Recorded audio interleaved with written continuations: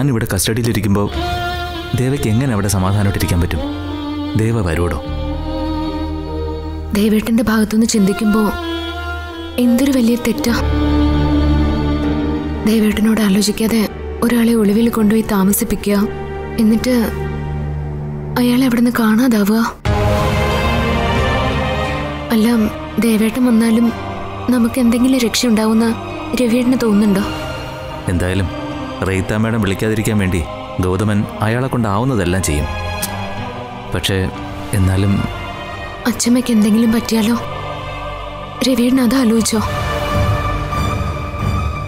അങ്ങനെ ആലോചിക്കുമ്പോ നമ്മൾ ചെയ്ത കാര്യം ആലോചിച്ചിട്ട് പേടിയാവുക രവിയേട്ട. അച്ഛമ്മയെ കൊന്നു കുഴിച്ചിട്ടോ എന്ന് പറഞ്ഞത് ഒരു സൂചനയോ. അപ്പൊ അങ്ങനെ എന്തെങ്കിലും സംഭവിച്ചാലും നിയമത്തിന്റെ മുമ്പിൽ നമ്മൾ തന്നെ കുറ്റക്കാര്. ഒരു കൊലപാതകത്തിന്റെ ഉത്തരവാദികളാണ് നമ്മൾ. കൺമണി അങ്ങനെ ഒന്നും ചിന്തിക്കണ്ട. മറ്റാര് ഇരുട്ടാക്കാൻ ശ്രമിച്ചാലും ദൈവത്തിന് സത്യമൊക്കെ അറിയാലോ. ഏതെങ്കിലും നിലയിൽ ഒരു തെളിവ് കിട്ടാതിരിക്കില്ല. അറിയില്ല. എല്ലാരും നമ്മളെ വെറുക്കും. നമ്മൾ കുറ്റക്കാരാണെന്ന്? നമുക്ക് ഏറ്റവും വേണ്ടപ്പെട്ടവരെന്നെ പറയും. അതാ സങ്കടം. ദേവ കൺമണിയെ രക്ഷിക്കാൻ ഇറങ്ങാതിരിക്കാൻ വേണ്ടിയാ. അതിന്റെ പേരിൽ ദേവ ഒരു തീരുമാനം എടുക്കരുത്. നമ്മളിപ്പോ അമ്മച്ചീസിന്റെ അഭിമാനം അല്ല നോക്കേണ്ടത്. കൺമണിയുടെ ജാമ്യത്തിന്റെ കാര്യ. അത് മാത്രം നോക്കാനാണെങ്കിലേ കൺമണി പുറത്തിറങ്ങുമ്പോൾ അമ്മച്ചീസ് നമ്മൾ അടച്ചു പൂട്ടിയിരിക്കും. യാതൊരു എത്തിക്സും ഇല്ലാതെ ഒരു കമ്പനി നടത്തിക്കൊണ്ട് പോകാൻ എനിക്കൊരു താല്പര്യമില്ല ഞാനിങ്ങനെ ഒരു തീരുമാനം എടുത്താൽ കൺമണിക്ക് അത് മനസ്സിലാവുകയും ചെയ്യും.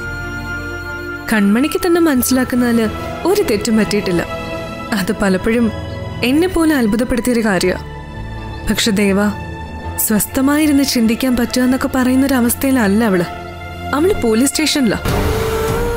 ദേവ ഒരു കാര്യം ചെയ് അമ്മച്ചീസിന്റെ എം ഡി എന്ന നിലയിൽ ഇടപെടാൻ മനസ്സിലെങ്കിൽ ഞാൻ പോവാം.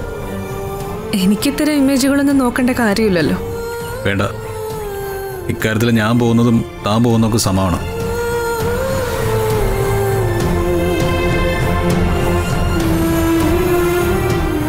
ഇങ്ങനെ ഒരു തീരുമാനം എടുത്താൽ ഇപ്പം മുതൽ ഞാനൊരു മഹാനാവുമെന്ന് കരുതിയിട്ടൊന്നുമല്ല. വെറുതെ അങ്ങനെ ജീവിച്ചു പോകുന്നതിൽ അർത്ഥമൊന്നുമില്ല. ചുറ്റുപാടുകളെ ബഹുമാനിച്ചല്ലേ പറ്റൂ. അനുസരിച്ചല്ലേ പറ്റൂ. അപ്പോ കൺമണിയെ തിരക്കി പോകുന്നില്ല എന്ന് തന്നെയാണല്ലേ? സ്റ്റേഷനിൽ എത്തിച്ചേർന്ന നിമിഷം മുതൽ കൺമണി ആഗ്രഹിക്കുന്നത് ദേവ അവിടെ ചെല്ലുന്ന സമയം. അവളത് പ്രതീക്ഷിക്കുന്നുണ്ടാവും? അവൾക്ക് ഏറ്റവും വിശ്വാസമുള്ള ആൾ അവളുടെ അരികിൽ എത്തുമെന്നും ആശ്വസിപ്പിക്കുമെന്നും അവൾ പ്രതീക്ഷിക്കും. മറത്ത് പറയലേ ദേവ? മധുരിമ?